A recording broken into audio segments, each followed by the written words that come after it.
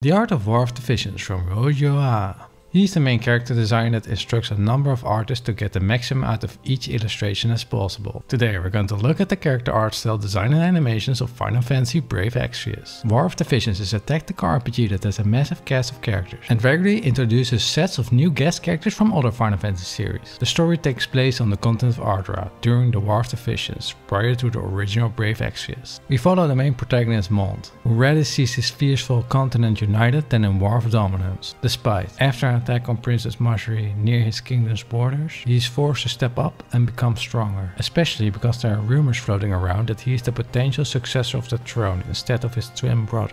Even though the art team gets specific directions on the character designs from the game developers, the room for creative freedom is apparent. Ryoji stated in an interview that in the end all that matters is to create likable designs. And it shows, especially when we look at the promotional event art, which are drawn as if they capture a moment of a small story, such as raid boss of summons like Fenrir, Diablos and Titan, or others that contain chocobos, tomberries or even chocobo meteors falling from the sky and of course holiday inspired events such as Easter, Thanksgiving and Christmas. The team deliberately designed a distinct appearance for each kingdom. This way all factions have their own style in clothes, ornaments and overall color palette. When we zoom in, the eye style is clearly a variation from Akihiko Yoshida's Final Fantasy Tactics, whose works were actually the base of these designs. The team noted that they want to make sure that they didn't create inferior copies, and I think they nailed it. Anyways, the absence of a nose is also familiar to this regard. That said, they do indicate the nose bridge with highlights. Besides that, the male character upper body is quite broad compared to the thin baseline,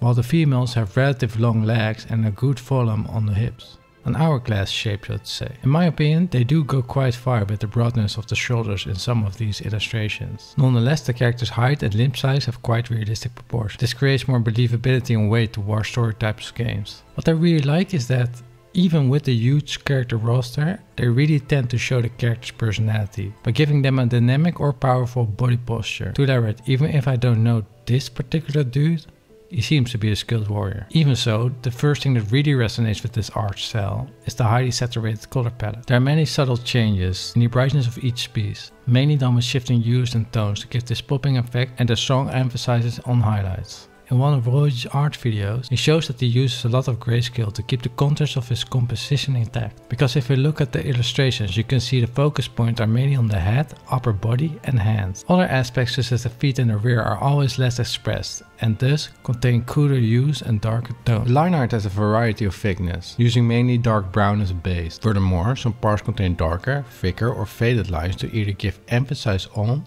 or differentiate that particular area from the rest. This style uses line hatching mainly on the clothes to create more volume and depth. The main takeaway is, there are a lot of curves and arch strokes to present the characters to be dynamic and alive. Because this game is massive and new characters keep getting introduced all the time, I want to highlight our favorite Final Fantasy cast. First let's look at Final Fantasy Tactics. One could debate if this style is a natural evolution of the original. I will say the main difference is the lighter color palette whereas Final Fantasy Tactics uses darker tones. Let's check out the rest. What I like is that they kept the original Yoshitaka Amano's imaginative costume designs well intact, with some characters carrying small little ornaments and accessories. Furthermore, the over decorative weapons are kept true to the original form as well. Despite this, one character is particularly different than the rest, and that is Kefka.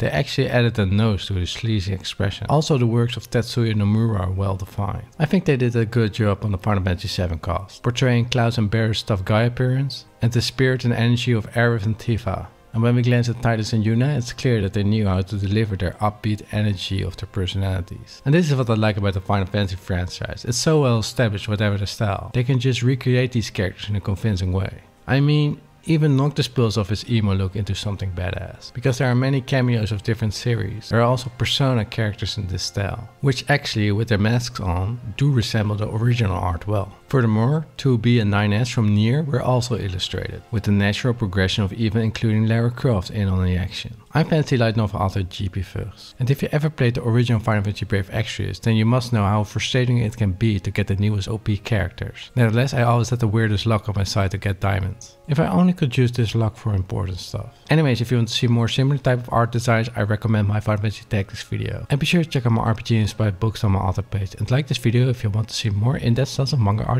of our favorite video games.